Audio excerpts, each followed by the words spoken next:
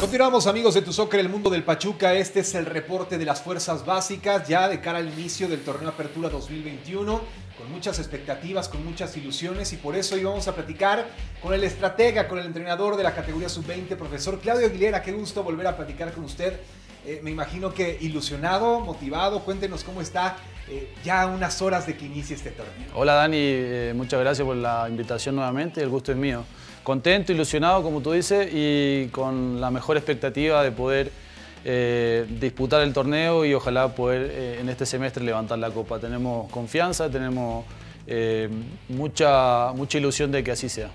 Los muchachos, ¿cómo han llegado después de esta etapa de de preparación después de estas vacaciones merecidas que tuvieron después de haber llegado a la gran final. ¿Cómo observas este plantel que tienes hoy en? Bien, los muchachos están con, con energías nuevas, con, con, las ilusiones renovadas, igual que nosotros.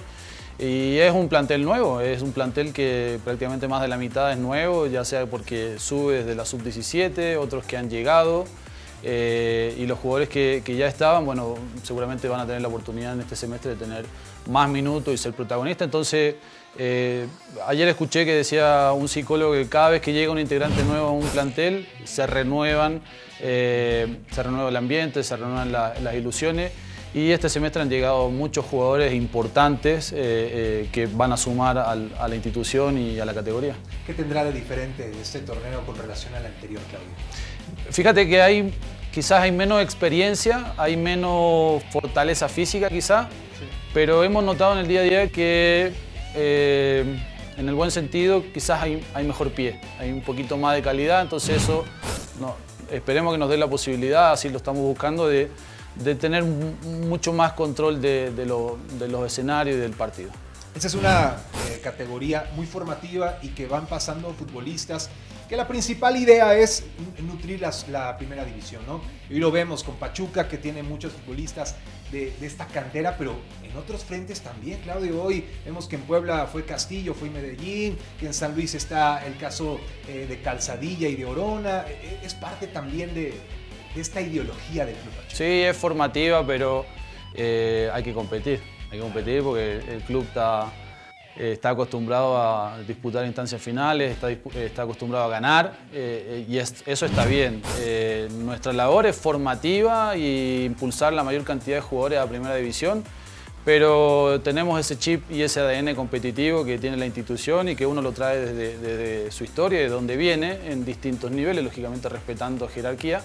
Entonces es importante. Y tú bien lo dices, eh, han ido jugadores a otros clubes eh, y jugadores que sabemos en estos momentos eh, que, están siendo importantes. me parece que Calzadilla va a ser opción clara en la titularidad. también Raúl. Y, varios jugadores que están luchando por un puesto en primera división y eso nos llena de, satisfacción y de orgullo.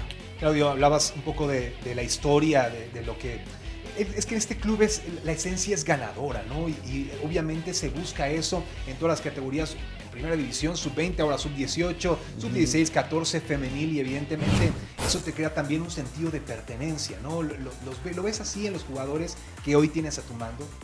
Mira, nosotros inculcamos siempre, a mí me tocó estar desde la sub-12, eh, eh, el amor al, al escudo, a los colores.